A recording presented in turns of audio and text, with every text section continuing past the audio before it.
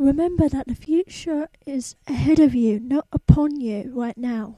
I know there were times where teachers and everyone around you kind of thought you were crazy, whilst I had nightmares about me driving into a pre on my first driving lesson and maybe not making it. Stop thinking about the future so much because those things were way, way, way ahead of you, and it's like you're having a midlife crisis when you're six. Too young. Don't, no, repeat, don't let your mind bury you so much. Remember that humans created technology. We control the technology. Stop spending so much time on the computer and actually go outside. Keep that head inside your book. Your mind might be telling you, but you read slowly. But believe me when I say this, you actually read pretty quickly. And if you keep your head inside those books, you only read quicker.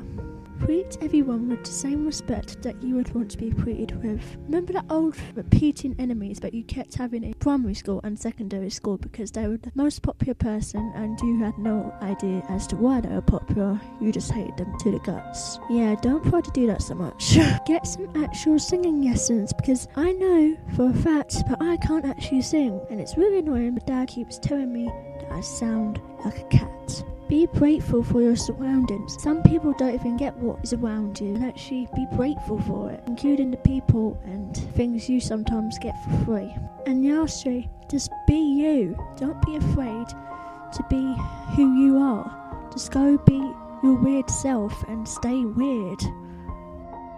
So coincidentally, I actually filmed a Dear Younger Self video and I thought it might actually be a bit relevant to Dear Me. Even though this video isn't really like the videos you might have seen with the hashtag Dear Me, it's still kind of what I would say to my younger self. Thanks for watching what this was and see you when I see you.